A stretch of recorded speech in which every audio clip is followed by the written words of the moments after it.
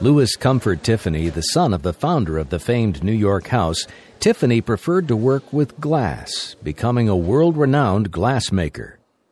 This collection of Tiffany lamps is a prime example of the artist's study in color, light, and innovation. He is considered a revolutionary in the industry, creating what is known as American glass. Tiffany, the father, was very well known, but then Tiffany Louis, the son, ended up making the name even more famous because he was really known for his glass. He was making windows for churches across North America. His his name became a mark of prestige. If you owned a Tiffany glass dinnerware set, you know this is the top.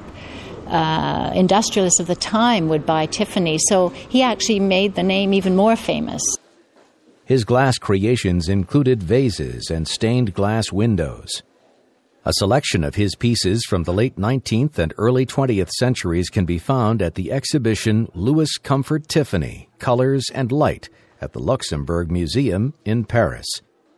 The exhibition features a wide range of his works, ranging from monumental sized stained glass windows to tiny stamp boxes bejeweled in glass.